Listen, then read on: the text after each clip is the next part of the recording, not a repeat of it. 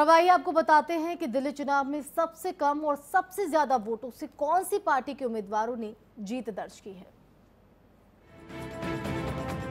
जीत बदरपुर रामवीर सिंह विदुड़ी 617 वोट से जीत उन्होंने सीट से हासिल की है। बिजवासन सीट की बात करें तो भूपेंद्र सिंह सात सौ तिरपन वोट से यहाँ से जीते हैं।